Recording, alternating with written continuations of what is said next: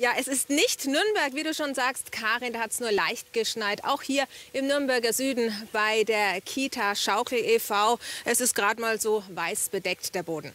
Spitzenreiter in Franken war wie so oft Oberfranken. Vom Frankenwald bis ins Fichtelgebirge, von Kulmbach bis nach Hof gab es heute 8 cm Neuschnee und das nur am Tag.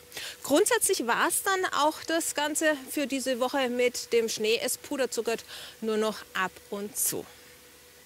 Morgen weht, der ist zwar nur schwach bis mäßig, aber er ist sehr, sehr kalt. Schließlich kommt er aus Nordosten. Und damit sind wir bereits wieder bei unserem Frankenschau aktuell Wettertrend. Anschluss gibt es natürlich noch ein paar Fotos unserer Frankenfotografen. Noch einmal der Hinweis, ab 18 Uhr stehen unsere Experten in Sachen Kitas für Sie bereit. Die Experten vom Jugendamt und vom Bündnis für Familie www.frankenschau.de.